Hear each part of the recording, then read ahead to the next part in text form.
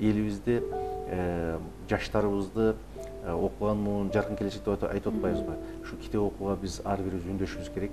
Жада калса ар бир ата эне китеп балдарыбызды китеп окууга өзүбүз үлгү болуп балдар китеп окууга үндөшүбүз керек. Мен кечээ ушул эл менен жолукканда айтып атам ушул беш жүз сомдук телефон көтөргөн бала барбы десем бир да анда санда бир адам чыкпаса баары жыйырма миң сомго отуз миң сомго телефон алып беребиз. Бирок сиз акыркы жолу ушу балдарыңызга аялыңызга үй бүлөңүзгө бир китеп окуп кой деп акыркы жолу канча сомдук же кайсы китепти сатып алып барып бердиңиз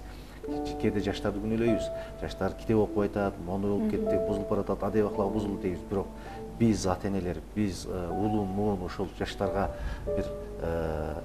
китеп алып берип үйдө бир китеп турса адай монтип китеп турса балдарга китепти алып барып бере берсең бала деле ойлонот да могу китепти ачып көрөт дегендей анан кийин балдарга жаш балдарыбызга жаш муунга өзүбүз шартты түзүп бере берсек карак базарга барсак ата энелер небересине кант алып келбесейин же бир мөмө жемиш алып келсе бара албайт. Карак курсак үчүн баардык нерсени арнап атабыз бирок жан дүйнөнү тоюндуруу үчүн жан дүйнөнү азыктандырыш үчүн бир балдарыбызга бир кам көрүп атабызбы жаштарыбызга бир кам көрүп атабызбы деген бир терең ойлуу бир суроолор жатат мен ойлойм бул суроону ар бир ата эне ар бир адам өзүнө берип терең терең ойлонушубуз керек деп ойлойм мисалы үчүн ушул үй бүлөнүн ынтымагы жөнүндө бир үй бүлө же нике жана үй бүлө дегендер ушундай бир темада дагы бир ушул кароо сынактарды өткөрүү боюнчачы аябай бир олуттуу маселени кабыр астына койдуңуз кечээ биз азыр аймактарды кыдырып жүрөбүз кечээ жалал абад областында болдум анан мен ушул бир көйгөйдү байкадым элибиздеги ушул үй бүлөлүк маселе аябай олуттуу бойдон турат. Үй бүлөлүк көпчүлүк жаштарыбыз үй бүлөдө кандай башкаруу болуш керек же үй бүлө башкача айтканда үй бүлө саясатын билбей же апасын дей албай жигиттер же аялын дей албай ортодо ар сар маң болуп жүргөн жаштарыбыз толтура көрүнөт.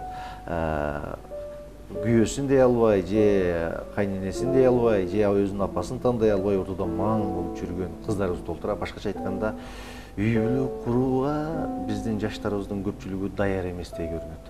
анан кийин баягы менин мындай байкашымча биздеги ошол үй бүлө боюнча дагы терең ушул маселелер эгерде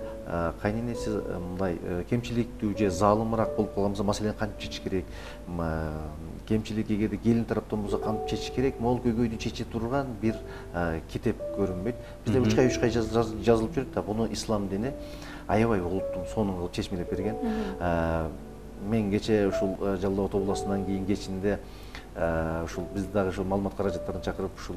сен айткан маселени дароо кабыр астына койгондо ушу кийинки жылга жакшы бир ниет кылып койдук. Кудай буюрса бир жакшы бир үй бүлө туурасында китеп жазып ушул кийинки жылдары